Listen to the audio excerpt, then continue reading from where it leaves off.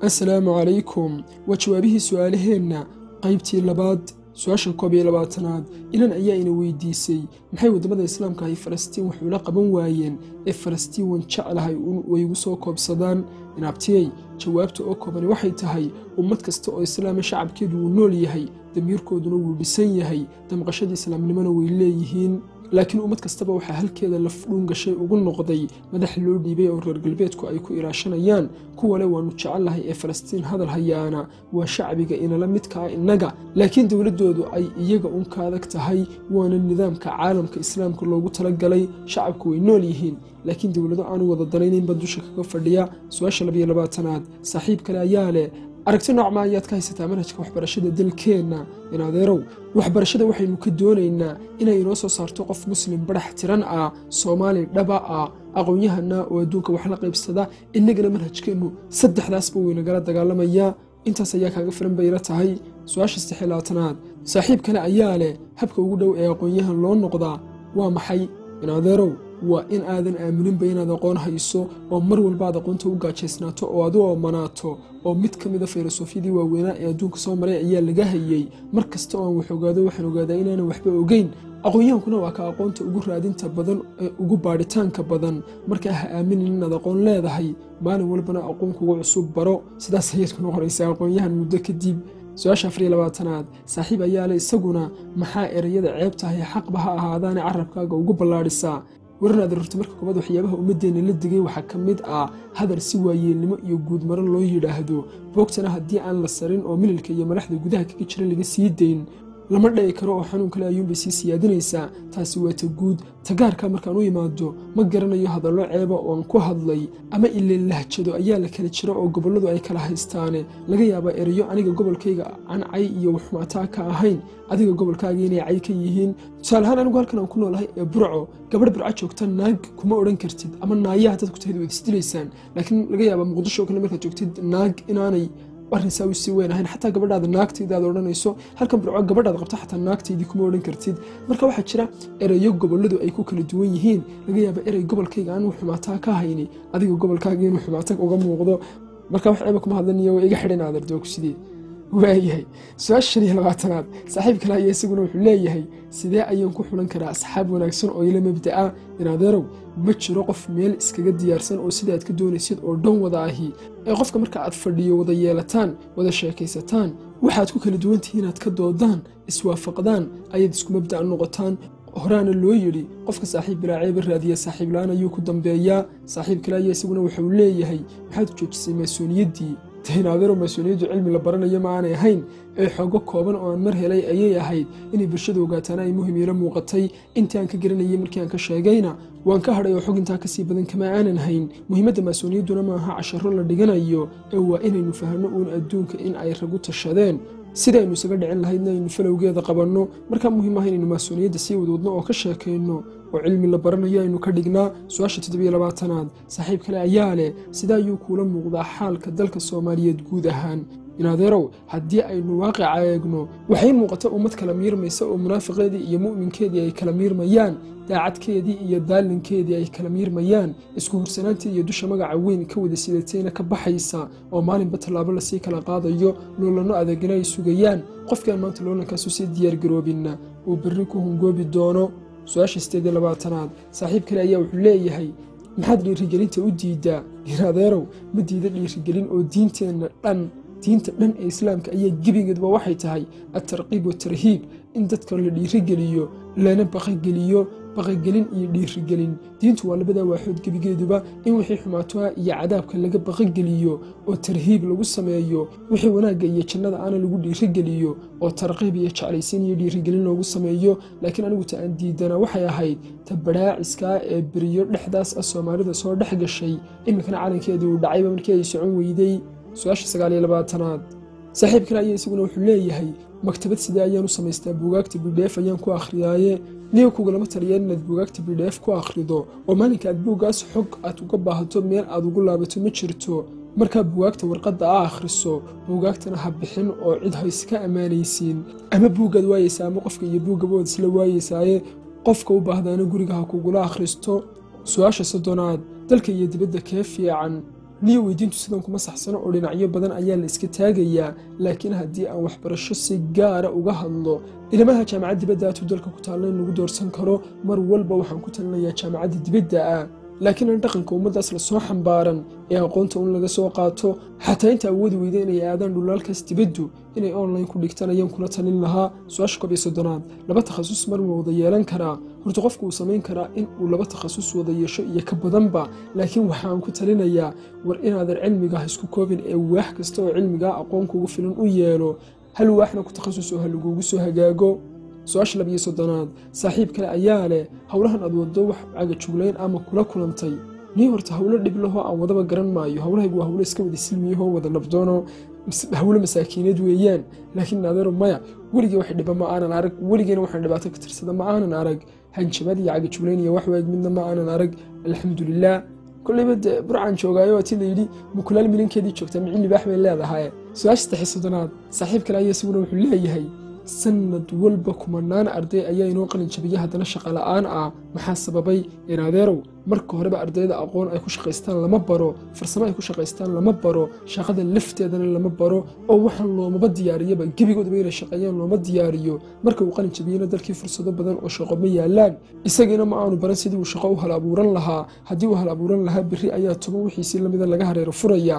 Waa barnaamijkaaynu kaga diyaarinaynay shuuciyadii iyo raasmaaliyadii iyo loolanka soo aadan. Oo inagii kaga warannay marka arrinkaas oo dhan ayaa isku murugsan. Dowlad ayuunbaana wax ka qaban karta laakiin waa dowlad aan shacabkeeda unka adkayn. Ee shacabkeeda wadeegaysa. Su'aasha afar iyo soddonaad ina la yidhaahdo asma xuseen ayaa iyaduna afar su'aalood oo berinimo ay ka muuqato ina weydiisay. Waanan uga jawaabaynaa afartaba in kasta oo aanan arrimo igu saabsan jeclayn inaan ka hadlo.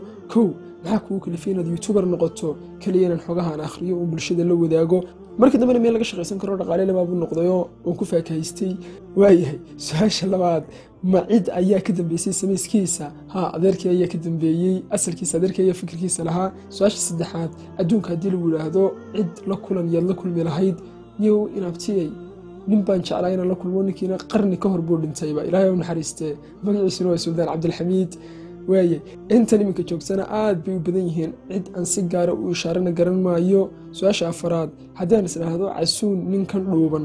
Ceebi tacaal ila dhuubnaanteeda habluhuna way arkeen. Ceebi tacaal waay haddaan is casuun ninkan dhuuban maxaad jeceshahay inaan kugu casuumo? Dayn abti ragoo shaah ragoo shaah shaah abuqaxwe waay su'aasha iyo soddonaad saaxiib kale ayaa leh. Qaabka ugu wanaagsan ee saxaafadda loogu shaqeeyo waa maxay? Adeerow waa in aadan cidna hoos tegin haddaad hoos tagtana ciddaas hadba waxay doonayso aanay ku sii dhex marsan oo afkaaga iyo qalinkaaga midna aanu cid u karaysnaan. Ciddaas mucaarid iyo maxaafidkay doontaba ha noqoto ee waana in aad ogaataa erey kasta oo aad gudbinayso ilaahay inuu kugula xisaabtamayo.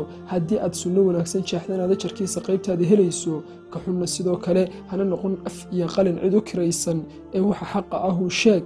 Sidaas ayaa ah qaabka ugu mudan ee saxaafadda looga shaqaysto. Dhaqaalehaan haddii aad ka hadlaysidna si kasta dhaqaale saxaafadda waa looga samayn karaa qodobka lix iyo soddonaad saaxiib kale ayaa leh sababta maanta halkan ina dhigtay aynu qayrkeen uga hadhnay. Horta dhinacyo badan waynu ka fiicannahay adeerow inta aynu ka liidanaana sababta halkaas ina dhigtay waa in aynan ogeynba in ay dhibaatayna haysato. War qofka markuu ogyahay inay dhib haysato ayuu xalinteeda u halgamaa. Laakiin haddiinan ogeynba dhibi inay jirto ayna haysato. Oo aynu leenahay mar haddii nabad lahayo waxba inagama maqnaa macnaheed waxa weeyaan waxyaabo fara badan ayaa inoo dhuumanaya su'aasha toddobiyo soddonaad. Saaxiib kale ayaa leh lala wadaag buug fikir ahaan u dhisayo qofka oo ay muhiim tahay inuu akhriyaa. Waxaan ku talin lahaa qofka afkaaraha diinteenna lidiga ku ah inuu fahmo ujeedkooda doonaya. Saddex buug intaan ilaa hadda akhriyey. Hadday wax kala soo raacaan asxaabta ayaa faallada inoogu dari doono komentiga waa buugga cali ciisad begofij ee alislaam bayna asharqi waalqarb buugga suldatu athaqaafatu alqaaliba iyo buugga ma'aalaat khadaab almadani oo labadan dambeba uu leeyahay ibraahim asakraan saaxiib kale ayaa leh sidaa iyo nafkeenna hooyo ugu ficnaan karaa. Keliya buugta ku qoran akhri tabta markaad kuwa carabiga iyo ingiriisiga akhriyaysid ereyada kugu adkaada aad u baadhana kana ereyadiisa unu baadh. Afkaaga hodan ayaad ka noqonaysaaye su'aasha sagaal iyo soddonaad.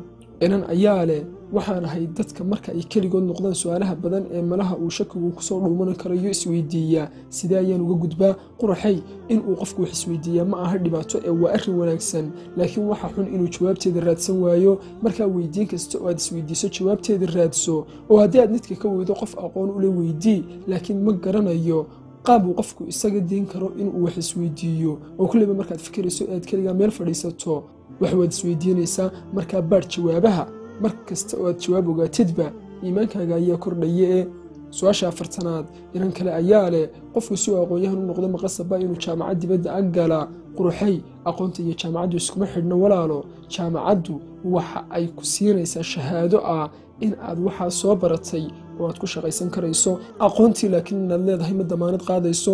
Aqoontuna uma baahna warqad caddaysa ee garaad weeleeye iyo habdhaqanka qofka oo ay saamayso ayay u baahan tahay su'aasha koob iyo afartanaad saaxiib kale ayaa isaguna waxa uu leeyahay aadan ma ikhwaanulmuslimiin ayaa tahay warin adeer nabigeenu sal allahu alay wasalam waxau inagu yidhi war sunnahayga iyo sunnaha khulafaa uraashidiinta ku dhiga oo gowsdambeedka ku qabsada si aad qof muslina oo barax tiran u noqotana waajib maaha inaad koox ku abtirsataa kooxahana badigoodu waxa ay kala yihiinba iyo waxay ku kala duwan yihiin ma aha asalka iyo faraca diinta midna ee waa arrimo adduun oo ku saabsan sida loo maaraynayo iyo fahan taasina cilmiga fiqiga ayay ku xidhan tahay oo waa fahanuun markaa in adeerow war cidna ma ihi cidna kuma abtirsado.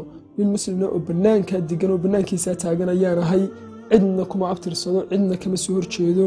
Su'aasha labiyo afartanaad saaxiib kale ayaa weydiin muhiimo keenay oo leh niw soomaalidu wacyigana si wanaagsan ulama socoto. Haddana waa dad garaad badan oo wacyi xooggan leh. Labadaas sidee laysu waafajinayaa inaad meel durugsan baad runtii wax ka eegtay. Waa run oo soomaalidu waa dad aad u garaad baxsan oo xoogagaal adduunka u ah. Haddana wacyiga iyo waaqaca ka go'an. Cilladda sababtay waa inay dad caadifiyiina yihiin. Dabadeed qofka soomaaliga ah intaad uga sheekaynayso adduunka kale iyo muslimiinta dunida iyo qadiyadaha caalamka uu isku hayo heshiis aan la dhex maraynin ayaa tihiin mar allaale iyo marka uu arrinku qadiyad soomaaliyeed yimaado ee innaga waaqiceenna uu yimaado. Ee aad soo hadal qaaddo wax soomaali dhexdooda ah ayay cirkaa dabkaan raac kugu noqonaysaa oo qof walba sida uu qabiilkoodu doonayo ama gobolkoodu uu doonayo ama aabbayaashii ay ugu sheekeeyeen ayaa isaga waaqicu ah gar iyo gardarraba kaas ayuuna ilaashanayaa inta xunbadaas caadifadda ee sindhatirka ah ay ka baxayaanna bulshadeennu labadaas sifo ee isdiidaya ayay ka dhaxaynayaan. Su'aasha saddex iyo afartanaad saaxiib kale ayaa wuxuu leeyahay waan ogahay walaal inaynu diintii xaq ahayd haysanno. Dagaal badanna uu inagu socdo maxaynala gudboon? Dee walaal keliya inaynu diinteenna aqoon u yeelanno uun? Indhahana aynu kala furno. Oo duulaanka inagu socda aynu difaaca ka gallo. Innaguna weliba aynu ku duullo oo iska celinno su'aasha afar iyo afartanaad saaxiib kale ayaa wuxuu leeyahay ma jeclaan lahayd inaad ummadda xil u qabato? Saacaddan maya inaadeerow waa siyaasadda dalkeenna ayaa asal ahaanba sideeda faashil u ah oo laba diimood oo isu cadowa oo kale ah diin islaam iyo diin dimuqraadiyadeed isdhex wada. Qofka dhex galaana wuu ku fashilmayaa uun. Ma waxay kula tahay dhammaanba siyaasiyiinta iminka jooga ee aynu la yaabannahay sida ay yihiin mid damiirle oo dadka iyo dalka iyo diinta u damqadaa inaanu ku jirin. Maya way ka buuxaan. Ee siyaasadda dalka ayaa sideeda faashil u ah. Cid kasta oo gashaana way ku fashilmaysaa. Intaa waxay noogu dhan qaybtii labaad ee weydiimaheenna. Insha allah qaybta saddexaad ee u dambaysay ee weydiimaheenna ayaynu intaynoo hadhay ku soo koobaynaa. Wasalaamu calaykum